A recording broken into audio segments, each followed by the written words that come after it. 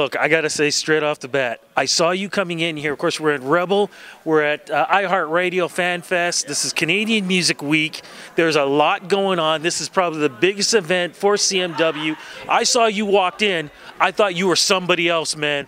From the days I've known you, from a couple of years ago, you are looking so good, man. Velvet on velvet on velvet and purple rain is falling all over you, my friend. Thank you very much. Yeah, it's been it's been a long time. You know, six years ago, I released my first single, and I've uh, been through a lot since then. You know, life experience, adventures, and you know, I've, I've definitely uh, grown as an artist and as a person. I feel like so. Here we are. But you look like now. Like, like don't get me wrong. Like you know, you were all t- uptight or anything. Like you look like you're having fun now.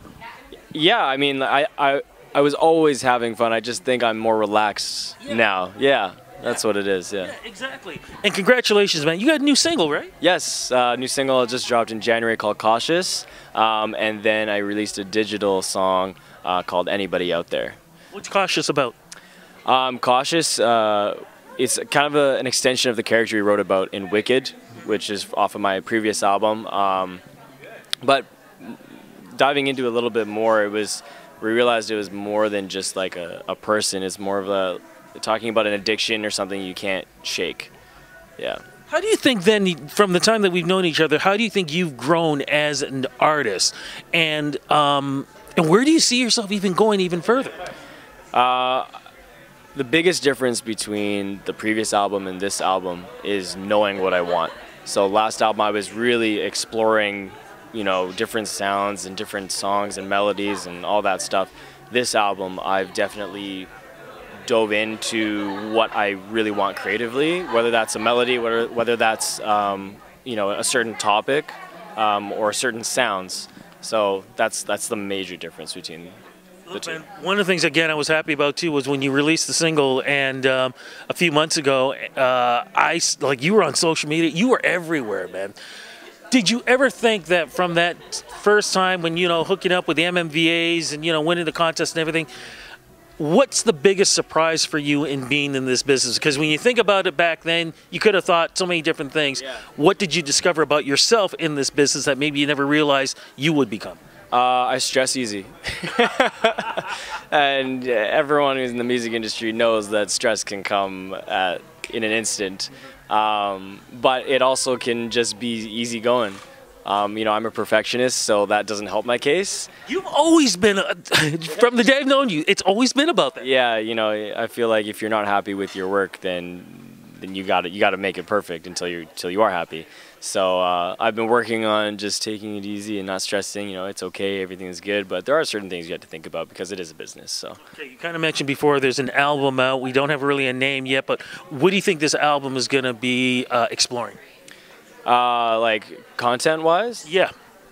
So I've, I've taken two years to write this entire album, and within those two years, there have been uh, a lot of things going on. You know, I, um, a few family members have been in the the deep dark space that no one likes to go into. Um, you know, anxiety.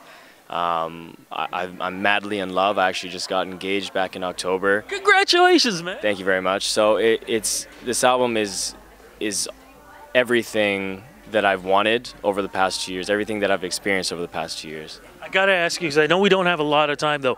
How did you propose? Oh, I took her to Italy um, and it's the the pictures on on social media, and uh, it's a coastal town called uh, oh my gosh, what's it called? Rio Maggiore, and uh, it's like a cliff town, cliffside town, and I just popped the question there. Yeah. what I'm more happy about is you're not on going to be on those uh, those uh, YouTubes where she runs away and says no. You know what? I realized after though, no, like not nothing about the running away part, but I did propose on a rock over the ocean. So if I dropped that ring, which I did not do, you know, it would have been bad. But you know, everything happens for a reason. I didn't drop it. It was on her hand, her on her finger perfectly. So meant to be. Is there going to be a tour happening soon?